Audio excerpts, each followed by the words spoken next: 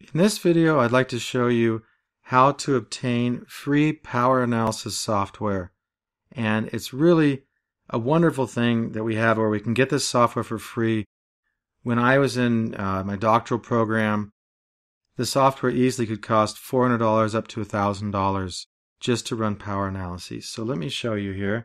If we go ahead and just search for G Power, and then you'll see this first uh, link that I got here, G Power. Go ahead and click on that. Now to make sure you're getting the right trusted source, you want to make sure you see this here. And this is from a psychology department, I believe at the University of Dusseldorf. Of course, if you decide to download this, you have to do it at your own risk, as I do when I download this.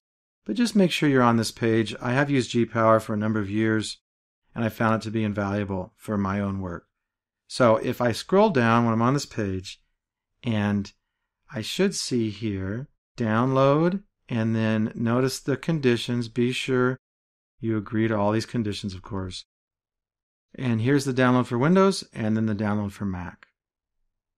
Okay, so that will get you G-Power. Once again, make sure you're on this main page, and here's the URL or address there. Okay, that's it. Thanks for watching.